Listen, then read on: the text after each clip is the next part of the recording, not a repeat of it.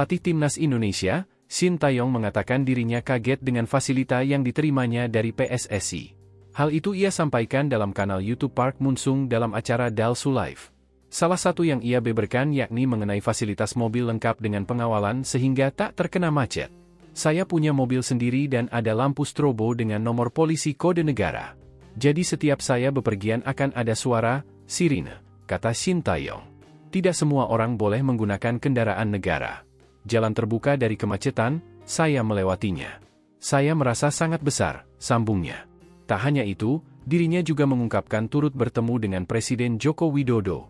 Anggota Komite Eksekutif, EXCO, PSSI, Endri Erawan pun turut buka suara perihal pujian Shin Taeyong.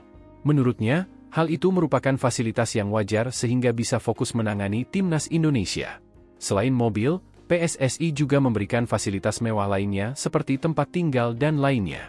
Kan sudah lama ya di sini, sudah empat tahun wajar ajalah dia, kata Endri Erawan. Artinya dia betahlah di sini dan kita juga di PSSI berusaha untuk memberikan segala kebutuhan dari dia selama di Indonesia. Standarlah semuanya. Ada pada rumah, ada kendaraan, ada fasilitas lainnya, pungkasnya.